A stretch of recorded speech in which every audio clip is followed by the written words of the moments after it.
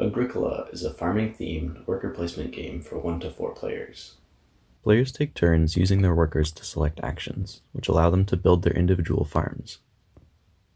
Once all the players have placed all of their workers, the round is over. At the beginning of each round, a new action becomes available, allowing players to do things they weren't able to at the beginning of the game. The game is played in 14 rounds, and once the final round is complete, the game is over. Whoever has the most points is the winner. You'll score points for most things that you do in this game, but there's a point cap on each different category. So building a variety of things is the best way to achieve the maximum score. With all that said, let's learn to play Agricola.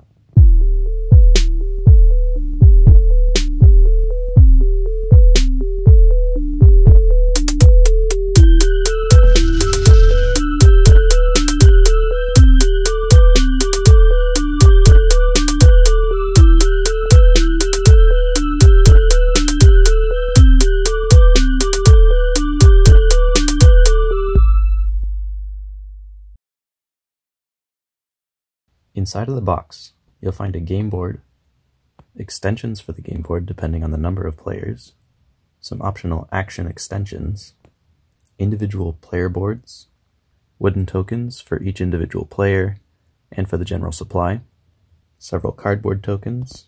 These include the food tokens, the double-sided wooden room and field tiles, the double-sided clay and stone room tiles, the double-sided begging tokens, and resource multipliers.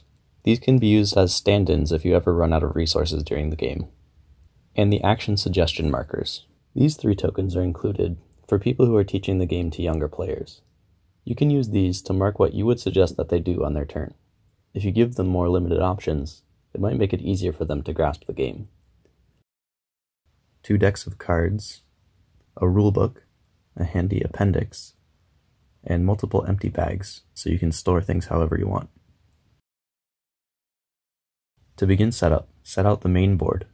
Choose the add-on that corresponds with the number of players you have. Decide on any optional extensions. The appendix has some information on when is best to use these. Now find the cards with the green backs. They'll each have numbers on them, ranging from 1 to 6. Put these in order, but randomize each number with itself. So for the four cards that have number 1, You'll want to shuffle them and then put them on top of the cards with number 2. There should be three cards with number 2, and so on. Put these beside the main board and flip over the first one with the number 1 on it. To set up the yellow deck, we may need to take some of the cards out, depending on the number of players you have. This symbol here corresponds to the number of players. If you only have one or two players, use all the cards with the 1 plus symbol. For three players, add all the cards with the 3 plus, and for 4 players, add all the cards with the 4 plus. Shuffle this deck and deal out 7 cards to each player. For the orange deck, you'll see that there's no symbol there. You'll use all of these cards regardless of the number of players you have. Simply shuffle this deck and deal out another 7 cards to each player. There are some red cards left over. These are going to be placed face up onto the major improvement board. This is a general pool for all players to buy from.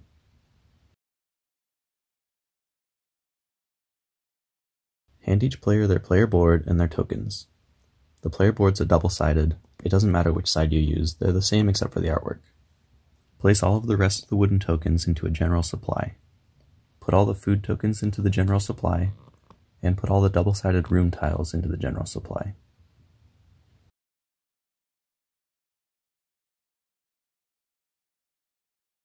Any action spaces with this arrow symbol indicate that they are accumulation spaces.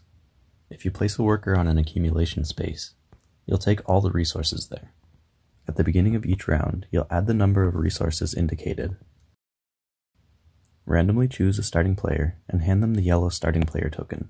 This player will receive 2 food at the beginning of the game. All of the other players will receive 3 food. The game is played in 14 rounds, divided into 6 stages. At the end of each stage is a harvest, indicated by this cornucopia symbol. During each round, players will take turns placing their workers on action spaces and taking those actions.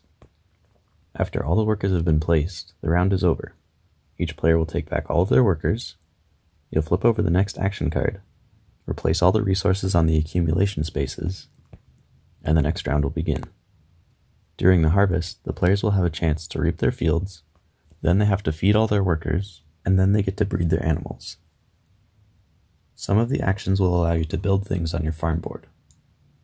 Whenever you're building, if you already have something of that type built, you have to place the new building adjacent to the old one. If you don't already have something of that type built, you can put it wherever you want. There are three main types of things you can build. Rooms for your house, pastures, and farmland. Pastures can be built either as a fenced-in area, a stable, or a fenced-in stable. Stables can hold one animal, fenced-in areas can hold two animals, and fenced-in stables can hold four animals. If you'd like to build a fenced-in area that spans more than one tile, you can do so, it just has to be closed with nothing separating the tiles from each other.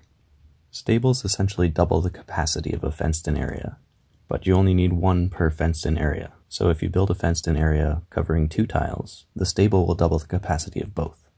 However, if later on in the game you were to place another fence separating the two tiles, this one would still hold four, but this one could only hold two. It's important to note that each area can only hold one type of animal, even if it spans over more than one tile. Your house can also always hold one animal. Regardless of the number of rooms, it can only hold one. If you take an action that gives you more animals than you can hold, then all the animals you don't have capacity for escape. Don't place them back on the action card, they go back to the supply. Once a worker has been placed on an action space, no other players can take that action until the round is over. I'm going to give you a quick overview of each of the actions printed on the game board. These will all be available starting in the first round. The farm expansion action allows you to build rooms. Each room that you build will cost 2 reed and 5 of either wood, clay, or stone. You can build as many rooms as you can afford whenever you take this action. You can only build new rooms that are the same type as the rest of your house. So if your house has all wooden rooms, you can't build a stone or clay room. You can only build a new wooden one. In order to upgrade your house, you need to use a renovation action, which will become available later on. This and or means you could also take this action to build stables. Each stable costs 2 wood. Again, you can build as many stables as you can afford. The meeting place allows you to take the first player token, meaning that as long as you hold this token, you'll be the first player to go every round.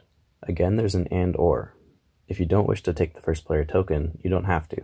You can just take this space if you want to build a minor improvement card. The grain seeds action is not an accumulation space because it doesn't have an arrow. If you take this action, simply take one grain from the supply. The farmland action allows you to plow one field. When you take this action, take one of the double-sided wooden room and field tiles from the general supply and place it on your farm board. If you've already plowed a field previously, this one has to be adjacent to it. When you take the Lessons action, you can play one occupation card for the cost of one food. If you haven't already played any occupation cards, you don't have to pay the food for this first one. Occupation cards grant you bonus abilities and sometimes bonus points at the end of the game. When you take the Day Laborer action, you take two food from the supply. When you take the Forest action, take all the wood that has been accumulated here. When you take the Clay Pit action, take all the clay that has been accumulated. When you take the reed bank action, take all the reed that has accumulated. And when you take the fishing action, take all of the food that has been accumulated. At the end of each stage is a harvest. When you come to this cornucopia symbol, that marks that it's harvest time. The harvest is done in three stages. The first stage is harvesting your crops. For each field with crops on it, you take one token off the top of the pile. That means for grain, it's going to take three harvests before this field will be empty again and ready for planting. And for vegetables, it will take two harvests. The second stage is feeding your workers. Each worker that you have requires two food. If you acquired a worker on this round, so that that worker has never taken an action, it counts as a newborn and will only require one food. If you don't have enough food to feed all your workers, for each food that you're missing, you have to take a begging token, which is negative three points so try to make sure that you have enough food to feed all your workers. The fireplace and cooking hearth will really come in handy here, because you can use those actions at any time to convert animals and vegetables into food. It's important to note that you can only convert grain into food during the bake bread action, so you can't do that during the harvest.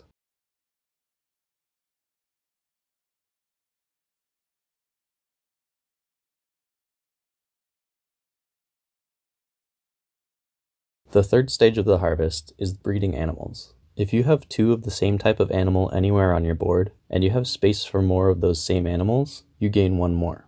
Some things to keep in mind are you can only gain one of each type of animal, so even if you have four sheep, you don't get two extra sheep, you just get one. And also because breeding animals is the last thing you do in the harvest, if you turned any of your animals into food, they can no longer breed. The game is over at the end of the 14th round. There's still a harvest to do here, so you have to make sure that you feed your workers. And again, if you can't feed them all, you'll gain negative points here. After the final harvest is done, it's time to tally up your scores. The game board add-on has the scoring key. The scoring key is broken up into rows and columns, with each row being a different thing that you could have gained during the game, and each column being how many points you score for those things. So the first row here is plowed fields. If you have 0 or 1 plowed field, you gain negative 1 points. If you have 2 plowed fields, you gain 1 point. 3 plowed fields gains you 2, 4 gains you 3, and 5 or more gains you 4 points. The second row is pastures. This includes stables by themselves. The next two rows are for numbers of grain and vegetables that you have. These will include all the grain and vegetables you have in your supply, as well as the ones that you still have on your fields. The third section is for animals, and the fourth section is not divided into rows and columns. This shows that you get negative one point for every empty field tile you have. You get one bonus point for every stable that's in a fenced in area. You get one point for every clay room you have, and you get two points for every stone room you have. You get three points for every worker you have, and then this final one reminds you to check the points you have on your cards. This can include occupations, major and minor improvements. Remember to take into account any variable scores you can get. You could go ahead and get started now, and just use the rulebook to learn how each action card works as it comes up.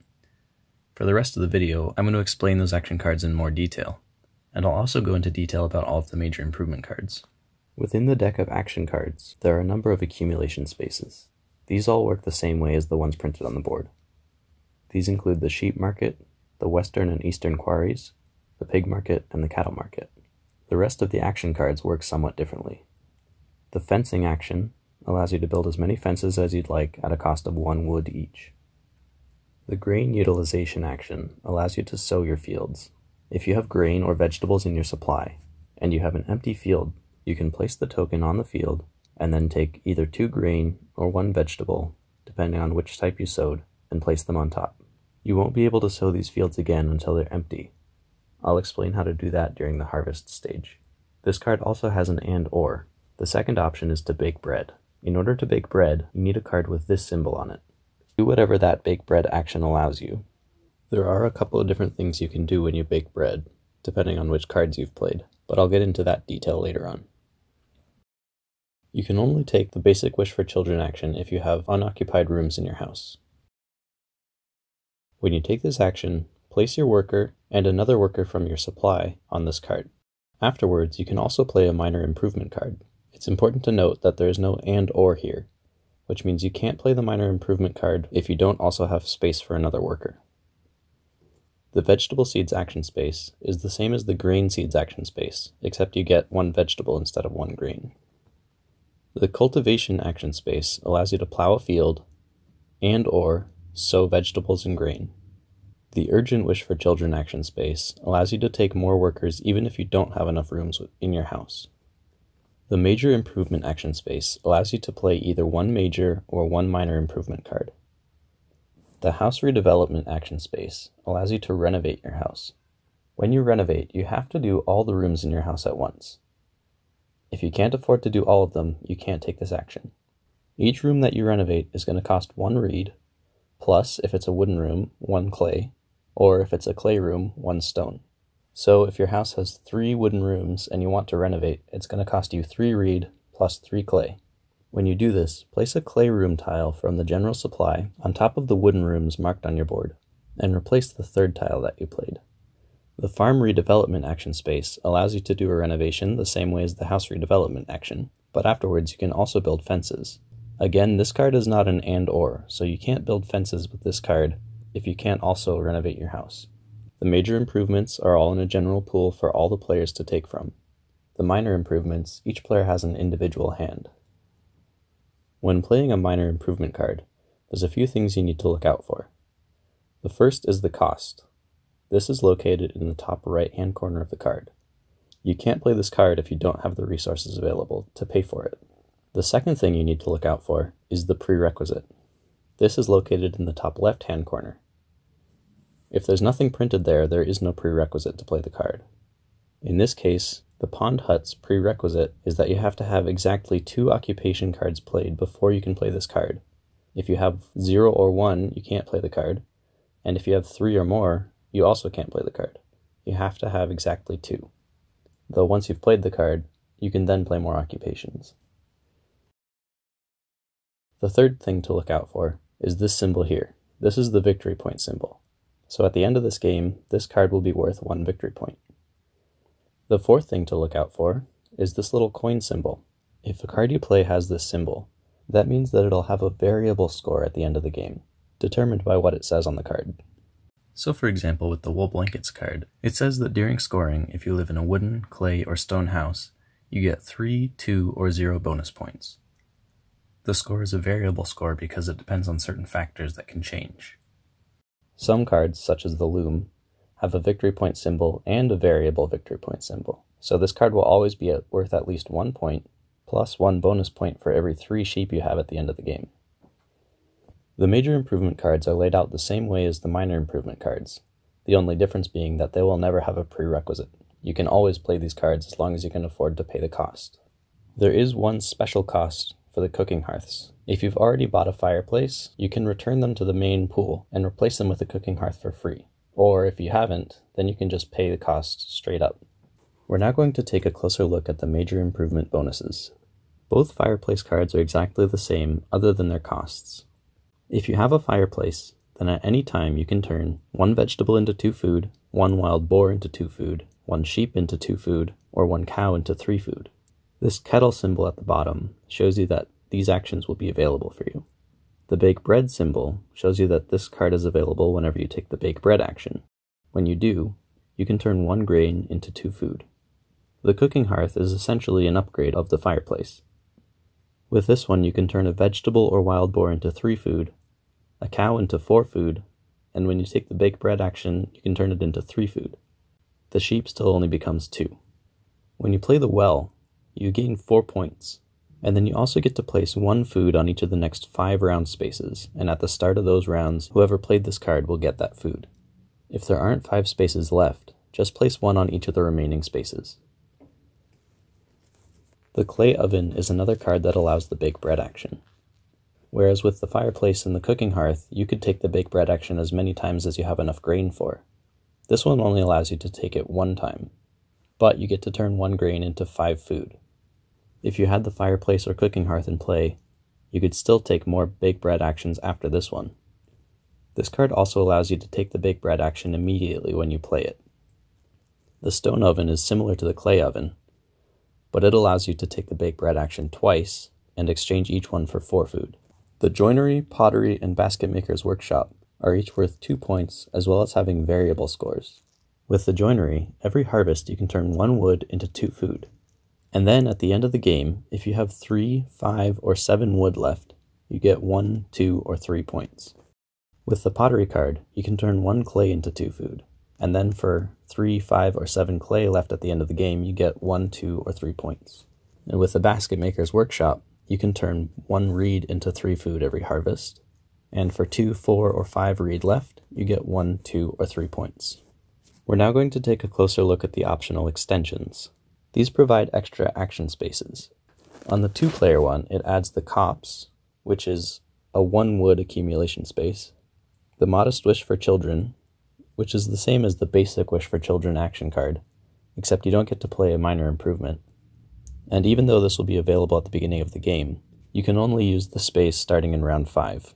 It also adds the Resource Market, which gives you one stone and one food, and the Animal Market, which either gives you a sheep and a food, a wild boar, or lets you buy a cow for one food.